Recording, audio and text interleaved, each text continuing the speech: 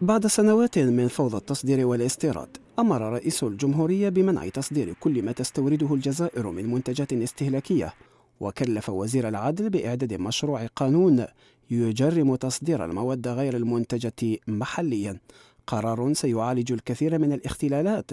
ويفتح المجال أمام الإنتاج المحلي. هو هو تشجيع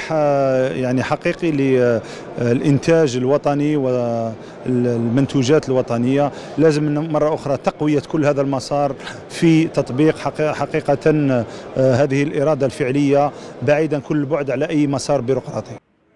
منع استيراد ما ينتج محليا ومنع تصدير ما يستورد. ثنائية من شأنها تقديم المزيد من الدعم للمستثمرين المحليين من فلاحين وصناعيين من جهة كما سيحد القرار من سيل الواردات. le problème يعني كما قال الرئيس هما les produits subventionnés تافي نورمال قال ان برودوي سوبفونسيوني ne bénéficie pas effectivement, il ne peut pas être exporté parce qu'il a bénéficié d'un soutien mais les produits non subventionnés فيش مشكل maintenant l'essentiel quand on importe un produit ou là on le exploite il faudrait qu'il y ait une, valeur ajoutée في في البلاد s'il n'y a pas de valeur ajoutée c'est tout à fait normal القرار يأتي بعد رفع العراقيل عن مئة المشاريع الاستثمارية وهو ما يمنح الفرصة للصناعيين لفرض أنفسهم في الميدان